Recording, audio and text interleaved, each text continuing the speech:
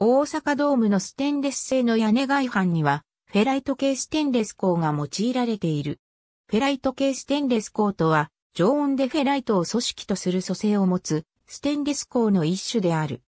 ステンレス鋼における金属組織別分類の一つで、他には、マルテンサイト系ステンレス鋼、オーステナイト系ステンレス鋼、オーステナイトフェライト系ステンレス鋼、析出硬化系ステンレス鋼の4つがある。フェライト系は、ステンレス鋼の耐食性を生み出すクロムを主成分として含み、クロム系ステンレス鋼に分類される。フェライト系の中にも様々なバリエーションの鉱種があり、クロム以外では、モリブデン、ニオブ、銅、チタンなどの合金元素が性能向上のために添加される。クロム含有量は、フェライト系の代表的鉱種の場合で18%程度である。日本工業規格で制定されているものとしては、スース430が代表例である。特に炭素及び窒素の含有量を0.03%以下のような極低量まで低減して、チタンやニオブなどの炭化物安定化元素を添加し、耐食性や加工性を従来のフェライト系ステンレス鋼よりも高めた鋼種を高純度フェライト系ステンレス鋼と呼ぶ。フェライト系は高い強度を持つ方ではないが、ステンレス鋼の中では廉価な鋼種である。一般的な鋼と同じく自性を持つ。代表的、標準的な鋼種で比較すると、フェライト系の耐食性はステンレス鋼の中では高い方ではない。一方で、高純度化や合金元素の添加により、高い耐食性を持つフェライト系の鋼種もある。IC430 の顕微鏡組織写真。摂氏950度小温後空冷の焼け生資材。フェライト系ステンレス鋼は、その名称の通り、常温での主な金属組織が耐震立方合子構造のフェライト章である、鋼である。摂氏900度から摂氏1200度の高温の状態では、フェライト単一章、または、フェライトと少量のオーステナイト章の2章からなる。フェライト系に分類されるものであれば、高温でオーステナイトが現れるものでも焼けな、マシを適切に施すことによって、フェライト炭素にすることができる。クロム炭化物や窒化物が析出する。組成や熱処理によっては、フェライト系に分類されるものの中でも、オーステナイト症やマルテンサイト症を常温でいくらか含むものもある。ステンレス鋼の耐食性は、クロムの含有によって現れる。フェライト系ステンレス鋼の場合、含有されるクロムの量はおよそ11%から32%程度までわたる。クロム含有量18%がフェライト系の代表的鉱種の含有量である。比較に制定されているものとしては、ICAS ティームの430や JIS のスース430が代表的鉱種で18クロムステンレス、18から0、ステンレス鋼、18CR 鋼、17CR 系などとも呼ばれる。フェライト系標準光種数数430とそれに、等価な光種について、各規格で定められた組成を以下の表に示す。鉄、クロム系二元状態図。左端の閉じたガンマの存在領域がガンマループ。鉄、クロム系二元状態図によると、クロム濃度0%ではおよそ摂氏900度から摂氏1400度の範囲で組織はオーステナイトとなる。クロム濃度が0から高まっていくと、オーステナイトが存在する温度域は狭くなっていき、ついにはオーステナイト存在領域は消失して、組織は融点までフェライト単層となる。このオーステナイトの存在領域はガンマループと呼ばれる。一般的には融点までフェライト単層のフェライト系を得るにはクロム濃度約13%以上が必要となる。ただし、炭素と窒素の含有量が増えていくと、ガンマループが高クロム濃度の領域まで広がる。例えば、炭素0.004%、窒素0.002%であれば、ガンマループはクロム11%程度までの広さだが、炭素0.05%、窒素0.025%であれば、ガンマループはクロム28%程度まで広がる。炭素及び窒素の含有量を0.03%以下のような極低量まで低減して、チタニやニオブなどの炭化物安定化元素を添加し、耐食性や加工性を従来のフェライト系ステンレス鋼よりも高めた鋼種を高純度フェライト系ステンレス鋼と呼ぶ。高純度フェライト系ステンレス鋼の場合は、組織は融点までフェライト単層となる。JIS では、スース444などが高純度フェライト系ステンレス鋼の代表例である。高純度フェライト系ステンレス鋼の一つであるスース444とそれに等価な鋼種について各規格で定められた組成を以下の表に示す。上記の通り、ステンレス鋼の耐食性は、クロムの含有によって現れる。クロムによって、鋼表面に不動体被膜と呼ばれるクロム酸化物の緻密で安定な膜が形成され、表面を腐食から保護する。クロム含有量が増えるほど、耐食性及び耐酸化性は向上する。付与される合金元素によるが、フェライト系ステンレス鋼の耐食性は、オーステナイト系ステンレス鋼と大雑把には同等と言える。ただし、 JISにおけるフェライト系の代表的鋼種である SUS430と JIS におけるオーステナイト系ステンレス鋼の代表的鋼種である SUS304を比較すると、孔食に対しては、 SUS430の方が耐食性に劣る。ステンレス鋼の耐食性は、組織の結晶構造がオーステナイトであるかフェライトであるかよりも含有される元素の影響が大きい。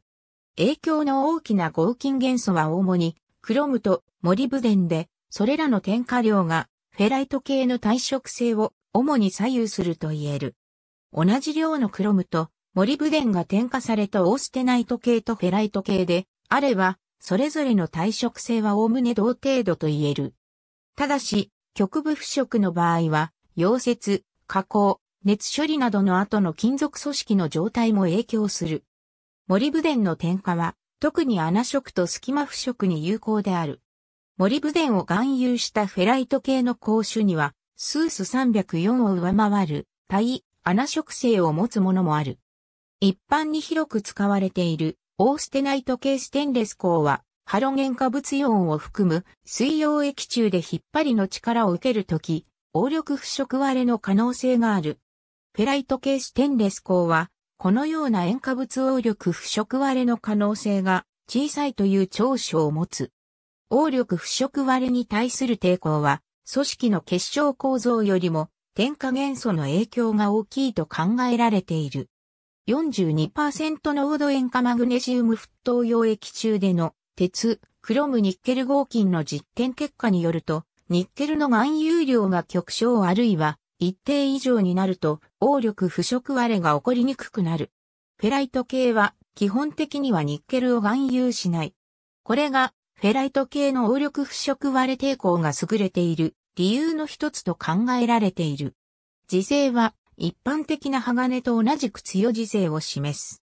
広く使われているオーステナイト系ステンレス鋼が非磁性であるのとは、この点において異なっている。この違いは結晶構造に起因するもので、オーステナイト系が免震立方症であるのに対して、フェライト系ステンレス鋼が耐震立方症であることによる。電気抵抗は合金元素の影響で純鉄よりも大きくなる。純鉄の非抵抗が9.718オーム M であるのに対し、ジスにおけるフェライト系の代表的鉱種のスース430で6018オーム M である。フェライト系の密度は一般的によく使用される鉄鋼材料の炭素鋼よりは小さい。クロム含有量が増えるにつれ密度は低下する傾向にある。難鋼が 7860kg マイ立方メートル程度であるのに対し、スース430が7750キログラム毎立方メートル程度である。変形しにくさを表すヤング率は難鋼とほぼ同じである。炭素鋼と比較すると、フェライト系の熱伝導率は低く、すなわち熱が伝わりにくい。炭素鋼が 58W 程度であるのに対し、スース430が 26W 程度である。電気抵抗と同様に、合金元素の含有量が多いほど熱伝導率が低くなる。オーステナイト系と比較すると、フェライト系の方が熱伝導率は高い。熱膨張率はオーステナイト系よりも低い。炭素鋼と比較してもフェライト系がやや低く、炭素鋼の線膨張係数が1116、K-1 程度であるのに対し、スース430が10.416 K-1 程度である。フェライト系ステンレス鋼は一般的には焼け生しが施されて実用に供される。摂氏800度から摂氏1050度の温度域から空冷するのがフェライト系の基本な焼け生し処理である。摂氏500度前後を除冷させて通過すると、口実のような税化の危険がある。フェライト系は炭素含有量が少ないため、焼き入れを行っても硬化しない。低クロムのフェライト系をオーステナイト存在温度域から冷却した時にマルテンサイトが生成されることもあるが、低炭素マルテンサイトであり、効果の程度は小さい。焼け生死後のスース430の例で0.2%体力が333ンパ、引っ張り強さが490ンパ、伸びが30%、ビッカース硬さが 149HV といった機械的性質を持つ。焼き生しされたフェライト系は炭素鋼などと同じく明確な幸福点を示す。他のステンレス鋼の種類と比べると、フェライト系ステンレス鋼は強度が高い鋼種ではない。フェライト系の体力は275波から350波程度にわたる。クロム含有量が増えるほど硬化するが、塩性や人性は低下する。フェライト系ステンレス鋼は耐震立方合子構造のフェライト層で構成されるため、低温では、モロ性破壊の危険性が高い。炭素鋼と同様に、低温域で衝撃抵抗が急激に落ちる塩性から、モロ性繊維温度が存在する。フェライト系の低温モロ性を改善するには、高純度フェライト系ステンレス鋼が有効である。高温では、フェライト系ステンレス鋼は、摂氏300度から摂氏550度程度の温度に一定時間保持されると税化が起こる。特に、およそ摂氏475度で税化が急速に起こるため、この現象は、摂氏475度税化や、摂氏475度モロ性と呼ばれる。硬さは上昇するが、塩性、人性が低下する。摂氏475度税化が起きると、税化に加えて、耐食性も低下する。摂氏475度税化は、マルテンサイト系ステンレス鋼や、オーステナイトフェライト系ステンレス鋼でも起こるが、フェライト系の税化現象として特筆される。クロム濃度が高いほど税化が早く進み、クロムおよそ15%程度以上から摂氏475度、税化が問題となる。一般的には、数十時間程度で発生する。38%クロム鋼の例では、10分から100分程度で税化が起きることもある。摂氏475度税化は、組織がクロム濃度が高いフェライト症とクロム濃度が低いフェライト症に分離することによって引き起こされる。高クロムフェライト症のクロム濃度は93%に達することもある。これらの高クロムフェライト症と低クロムフェライト症の二層分離はスピノーダル分解によって起きると考えられている。摂氏475度税下よりも上の温度域、摂氏600度から摂氏800度の範囲に保持されても税化が起きる。この税化現象は、シグマ小税化やシグマ税化、シグマモロ性などと呼ばれ、鉄とクロムの金属化合物からなるシグマ層の積質によって起こる。シグマ症は、硬いが脆く、組織中に存在すると材質を税化させる。シグマ小税化は、フェライト系に限った現象ではなく、オーステナイト系やオーステナイトフェライト系でも生じる。クロム含有量が多いほど、シグマ症は出やすくなる。また、モリブデン、ケイ素、アルミニウムの添加や、冷感加工の実施によってもシグマ症は積出しやすくなる。シグマ症の生成速度は遅く、一般的には数百時間以上加熱保持して、シグマ症税化は起きる。そのため一般的な温度で使用する範囲では、シグマ小税化が問題となることはないが、高温環境で耐熱材として使用し続けるような用途では注意を要する。フェライト系ステンレス鋼の加工では、全般的に言えば普通鋼とおおむね類似の加工性をフェライト系は持っている。張り出し加工を行う場合、材料の全伸びや加工高化度 N 値が高いほど加工性が優れる。オーステナイト系ステンレス鋼は N 値が高く、張り出しの加工性は優れている。張り出し加工については、フェライト系はオーステナイト系よりも劣る。張り出し加工性を上げるには、塩性の向上が必要で、フェライト系の場合は、必要な成分以外をできるだけ低減する高純度化が有効である。絞り加工の場合は、材料の組成歪み比 R 値や N 値が高いほど、加工性が優れる。限界絞り率は、オーステナイト系よりもフェライト系の方が高く、絞り加工性はフェライト系の方が優れている。R 値の向上には、炭素、窒素含有量の低減と炭化物、窒化物形成元素である、チタン添加が有効である。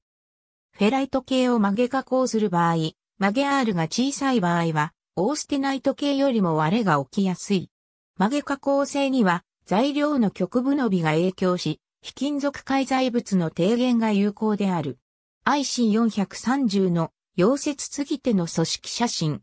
BM が母材部で、WM が溶接金属。溶接による結晶粒の粗大化が見て取れる。フェライト系を溶接する場合は、溶接熱による摂氏475度低下、結晶粒粗大化による塩性低下などが問題となり得る。摂氏475度低下は溶接後の冷却速度が遅いと起きやすいので、冷却速度を上げるなどの工夫などが行われる。フェライト系は高温でも変態しないため、加熱された部分の結晶粒が粗大化しやすい。切削加工においては、ステンレス鋼は難切削材の一つとして知られる。特に開削性が悪いのは、オーステナイト系であり、フェライト系の開削性は、オーステナイト系よりは、優れ、炭素鋼に近い。開削鋼の ICB1112 を基準とした非作性指数の例では、低炭素鋼の S25C で非作性、指数70、フェライト系のスース430で非作性、指数50、オーステナイト系のスース304で非作性、指数35となっている。硫黄などを添加することによって、フェライト系の非作性を向上させることができる。フェライト系ステンレス鋼に絞り加工を行うと、リジングやローピングと呼ばれる圧煙方向に平行に走るシワが発生することがある。リジングはフェライト系ステンレス鋼における代表的な加工血管の一つである。リジングによるシワは表面にも裏面にもでき、表で覆うとなる箇所は裏で凸となっており、板圧を貫通して起きている現象である。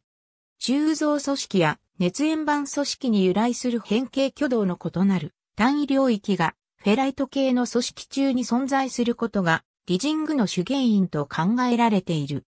フェライト系でリジングが特に起きやすいのは、フェライト系の場合は、オーステナイト炭素からフェライト炭素への完全変態がないため問題となる単位領域が残りやすいためだと考えられている。リジングによるシワは成形品の美観を損ねるため、研磨による削除を行う必要があり、製造上の大きな手間となる。さらに大きなリジングは割れの原因となることもある。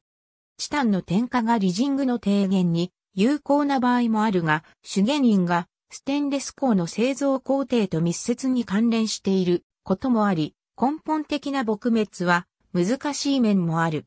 同じくフェライト系をプレス成形する際に気凍る血管として、縦割れと呼ばれるモロ性割れがある。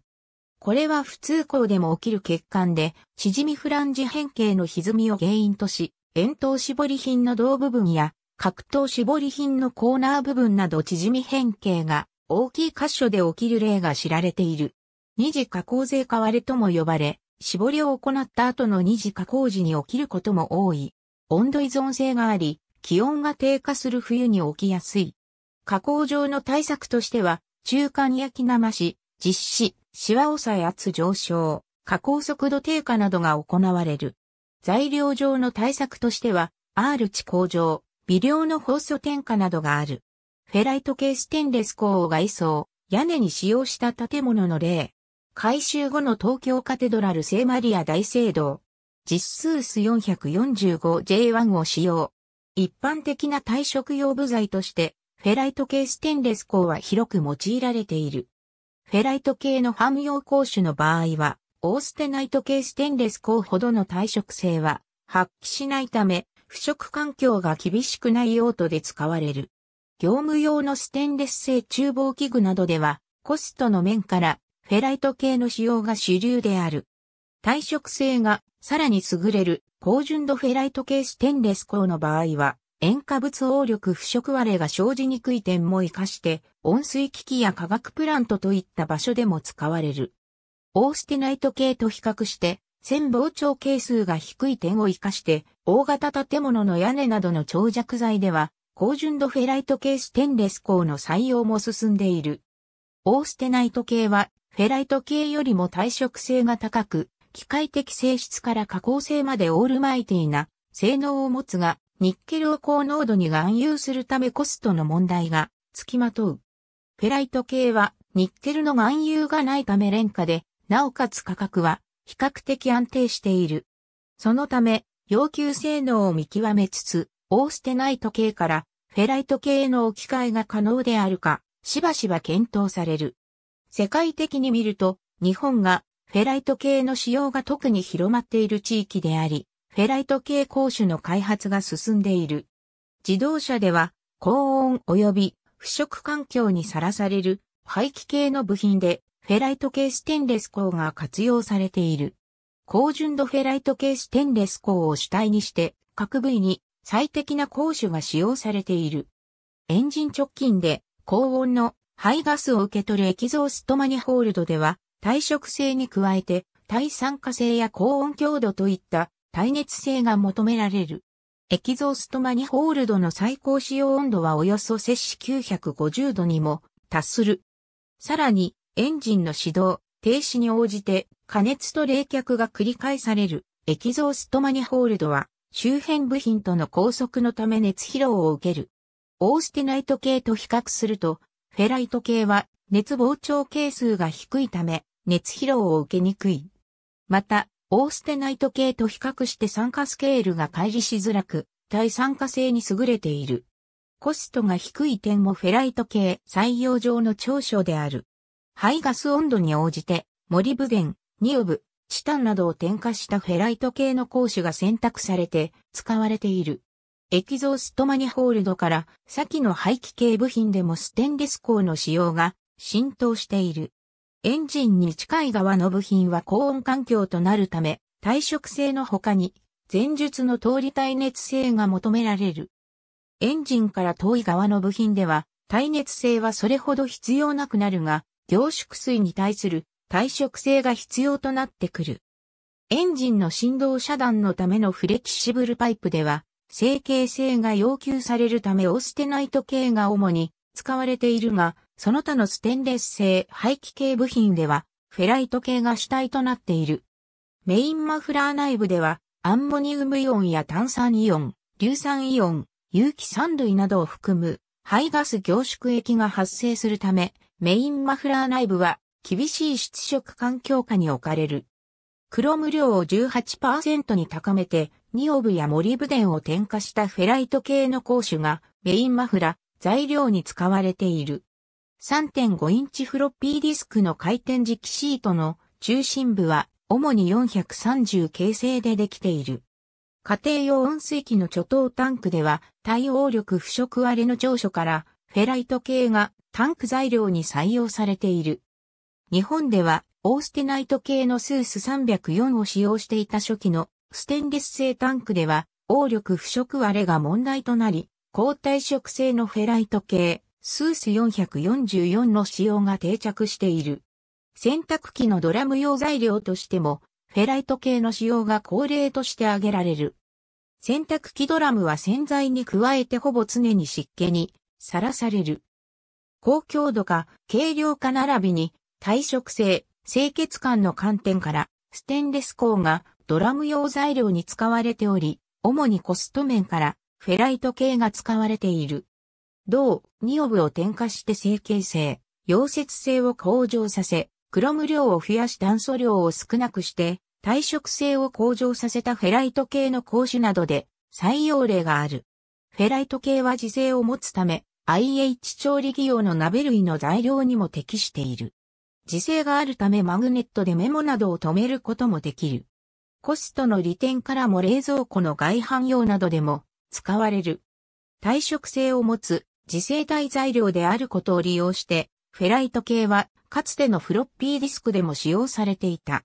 主流だった3.5インチフロッピーディスクの回転磁気シートの中心部は主に430系が使われていた。ステンレス鋼の組織別の基本3系統として、フェライト系ステンレス鋼の他に、マルテンサイト系ステンレス鋼とオーステナイト系ステンレス鋼がある。これら基本3系統は1910年代に欧米の研究者たちによって発明された。マルテンサイト系はイギリスのハリー・ブレアリーが、オーステナイト系はドイツのベンロ・シュトラウスとエドワルト・マウラーが、それらを発明したとされるのが一般的である。しかしフェライト系ステンレス鋼の場合、発明物を特定の人物や組織に帰するのは難しい。ハロルド・コブは著書でフェライト系の最初の発見者としてフランスのレオン・ギレの名を挙げている。ギレはステンレス鋼、基本3系統のフェライト系、マルテンサイト系、オーステナイト系に属する組成を体系的に初めて研究したとされる人物でもある。ギレは1904年に種樹の組成の鉄、クロム合金の研究成果を発表した。この論文の中に現在フェライト系として規格化されている組成がすでに示されている。ギレは鉄、クロム合金と鉄、クロムニッケル合金について研究を続け、これらの鉱種の金属組織、熱処理、機械的性質の研究の中でフェライト賞を持つグループの講種があることを見出している。しかし、ギレはこれら講種の耐食性については発見しておらず、特許を取ることもなかった。あるいは、野原清彦は、フェライト系の発明者として、フランスのアルベルト・ポルトバンの名を挙げている。ハロルド・コブもまた、ポルトバンを、フェライト系のもう一人の重要な発見者として言及している。ポルトバンは前述のギレの研究を引き継ぎ、クロムの含有量が多いほどエッチングしにくいことを発見している。ただし、彼も耐食性の高い鋼として活用できることまでは研究できなかった。ポルトバンは研究を続け、1911年に低炭素高クローム鋼の研究成果を発表した。この研究で、現在の愛式核のタイプ430とほぼ同等な組成であるクローム17.38%、炭素0.12%の合金について報告しており、さらに熱処理によっては、この講師はフェライト小組織となることについて言及している。あるいは、千沢光一郎は、アメリカのクリスチャン団地前を発明者として挙げている。ハロルドコブもまた、発明者としてではないが、フェライト系の開発における団地前の功績を特筆している。ゼネラルエレクトリックに勤めていた彼は1911年から電球リード専用の材料として低炭素高クローム鋼の研究を行っていた。研究で使用された鋼臭にはクロムを14%から16%、炭素を0.07%から0.15%含有し、焼き入れ効果性がなく、現在のスース430に相当するものがあった。この工種は別の信号金が開発されたため、リード専用としては不要となったが、1914年から蒸気タービンブレードとして活用された。その他には、千沢光一郎は、ダンチゼンの他に、アメリカのエルウッド・ヘインズもフェライト系の発明者として挙げている。野原清彦は、ポルトバンの他に、マルテンサイト系の発明者として知られる、ハリー・ブレアリーの名も挙げている。ハロルド・コブは、ダンチゼンと一緒に、アメリカのフレデリック・ベケットの功績も挙げている。ここまで名を挙げたもの以外にも、フェライト系に相当すると考えられる、低炭素高クローム鋼の研究や、特許取得を行った人物や組織は存在していた。以上のように、フェライト系の発明の貢献者には、様々な人物の名が挙げられる。初の商用のフェライト系ステンレス鋼は鋳造品で、1920年にシェフィールドのブラウンベイリーの工場で作られたとされる。クロム12%、炭素0.07%の組成からなり、現在の409系に近い工種であった。1920年代頃にフェライト系ステンレス鋼という概念が普及し、定着しだした。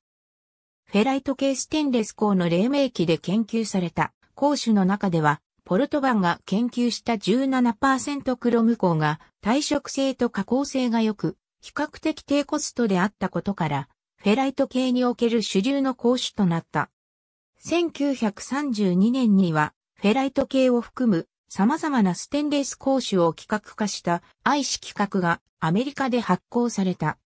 1942年には、フェライト系ステンレス鋼の愛子430は、ボイスレコーダー用のワイヤとして採用され、第二次世界大戦中には大量の愛子430製ワイヤが使われた。第二次世界大戦後は、朝鮮戦争の発生によってニッケル不足となり、結果的にフェライト系の利用が促された。最もニッケル不足が激しかった1953年には、アメリカ内の i 種430の生産量が、オーステナイト系の生産量に匹敵するほどになった。ニッケル不足が収束した後の1957年には、アメリカ内ではフェライト系生産量は全ステンレス鋼生産量のおよそ1、4の割合を占めていた。1930年代頃のフェライト系ステンレス鋼の欠点として、常温付近で遠征からモロ性専用度があり、衝撃モロ性破壊の危険があった。これがフェライト系の製造と使用における障害となっていた。これに対して1948年にフランスの研究者によってそして1950年にアメリカの研究者によって炭素含有量0.01%未満、窒素含有量0.005%未満といったような極小量まで低減すると常温域でも優れた衝撃強さを持つようになることが報告された。このような極低炭素、極低窒素のフェライト系ステンレス鋼を高純度フェライト系ステンレス鋼と現在では呼ぶ。しかし当時の技術では、このような極低炭素、極低窒素の鉱種を実験規模で製作することはできても、工業規模での生産はまだ不可能だった。1960年代後半以降になると、電子ビーム用開放、真空誘導路、真空アーク採用開放などによって、高純度フェライト系ステンレス鋼の製造、研究がなされ、特許取得なども行われた。高純度フェライト系の最初期の製品として知られるのが、アメリカのエアリダクションカンパニーが製造した E ブライト26から1である。製造方法は電子ビーム用開放を利用し、基本成分はクロム26%モリブデン1%で、炭素と窒素の合計量は0.001%以下を実現できていた。高い人生に加えて、塩化物環境でも発揮される優れた耐食性を持ち、化学プラントや食品産業で使われた。ただし、電子ビーム用開放では高コストだったため、E ブライト26から1はアレゲニーラドラムコーポレーションにライセンスされ、真空誘導路で生産された。1967年、ドイツで真空中で陽光に酸素を吹きつける真空酸素脱炭法が発明される。真空酸素脱炭法では、炭素、窒素合計量0.004%以下を実現できる。これによって、極低炭素、極低窒素のステンレス鋼が効率よく製造できるようになり、高純度フェライト系の製造に実用されていった。炭素と窒素の含有量が低減されたフェライト系の耐食性、加工性、溶接性は大きく向上した。以後、高純度フェライト系の開発が進み、多くの鉱種が生まれることとなる。ステンレス鋼の使用が広がる過程で、430系が唯一のフェライト系ステンレス鋼の選択肢として使われていた。430系では溶接性や耐食性が劣る面もあったことから、ステンレス鋼利用者にフェライト系ステンレス鋼はオーステナイト系ステンレス鋼よりも劣っているという印象を与え、利用者の一部に根付いてしまった。フェライト系がオーステナイト系よりも低価格であったことも手伝い、フェライト系は安物でありオーステナイト系は高級品であるという合理的でない認識が広まったこともある。しかし、2006年頃にはニッケル取引価格の高騰が起き、ニッケルを主成分として含有しないフェライト系の利用が拡大した。現在の高純度フェライト系ステンレス鋼は耐食性や溶接性は改善され、その用途は広がっている。ステンレス鋼メーカーによって、オーステナイト系と同等以上の耐食性を持つ、フェライト系ステンレス鋼も開発されている。文献内の複数箇所にわたって参照したものを特に示す。ありがとうございます。